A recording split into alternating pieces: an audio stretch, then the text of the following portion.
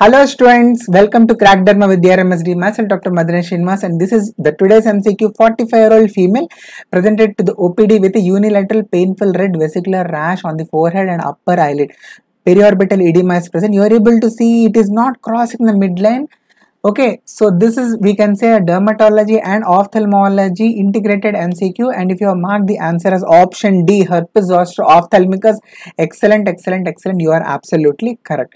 So one question for all of you. There is a named sign associated with this condition herpes zoster ophthalmicus where if the tip of the nose has vesicular lesions then most likely cornea will also get affected. If you know the answer for this named sign leave it in the comments below Few points about this herpes zoster. The causative virus is varicella zoster virus which lies dormant in the dorsal root ganglion and when it gets reactivated it is going to produce multiple vesicular lesions along a dermatome or we can say here unilateral or segmental. These are the words which will be given in the question.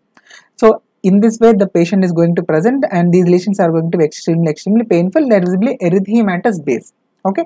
Thank you so much. I hope these videos are very helpful. Please do like this video and do follow Cerebellum Academy and Crack with the MSD for more such awesome content on a daily basis. Thank you so much.